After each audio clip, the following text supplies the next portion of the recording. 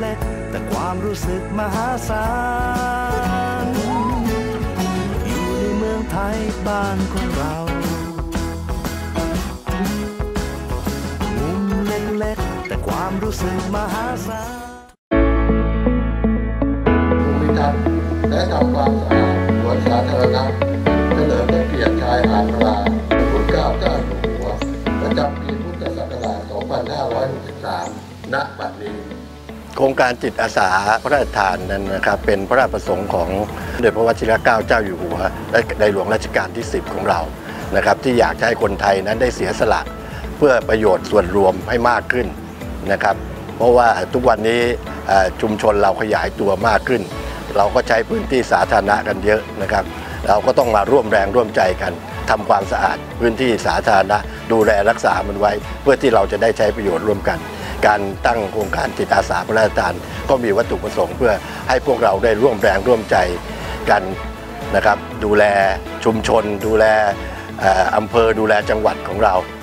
นะครับให้ให้มีความน่าอยู่ซึ่งทางคุณภาพชีวิตที่ดีให้กับพวกเราด้วย ก็เชิญชวนทุกท่านนะครับมาร่วมกันเข้าโครงการจิตอาสาพระราชทานเพื่อที่จะได้ช่วยเหลือดูแลชุมชนของเราครับเราทำความดีเพื่อชาติ ศาสนา และพระมหากษัตริย์ เฮ้หนึ่งสองคณะร่วมปลูกต้นไม้ท่านท่านหัวหน้าส่วนและผู้ว่าราชการดีครับพอไรจำนวนสิบโต้ว่านะครับตำบลพลาของเรานะครับที่เกิดเรื่องราวต่างๆ เยอะวันนี้ไปแล้ว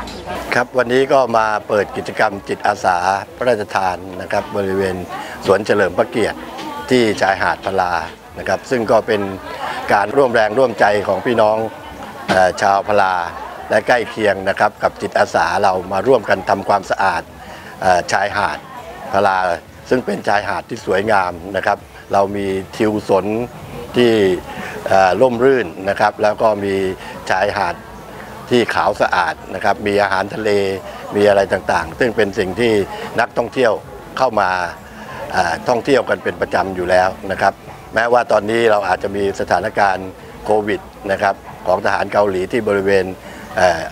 ตำบลพลานี้ แต่ว่าก็เราก็ได้ดูแลควบคุมอย่างเรียบร้อยแล้วนะครับ ทุกประการไม่มีปัญหาการแพร่ระบาดในพื้นที่ ก็เชิญชวนทุกท่านนะครับ ถ้ามีโอกาสก็แวะมาเที่ยว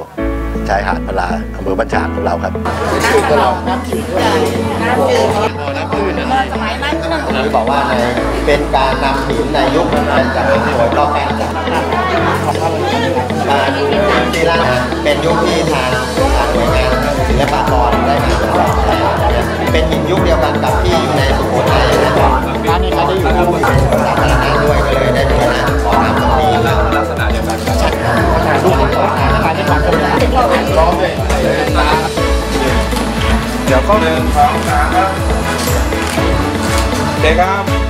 ขออนุญาตกล้องนี้นะครับ นี่เลยนะครับ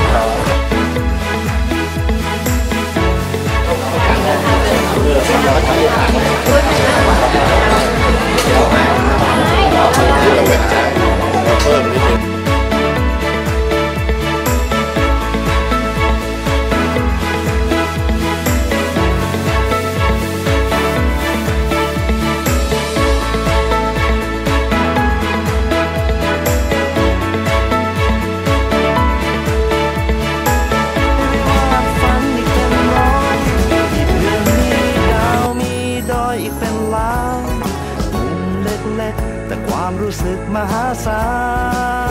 ล อยู่ในเมืองไทยบ้านของเรา มุมเล็กๆ แต่ความรู้สึกมหาศาล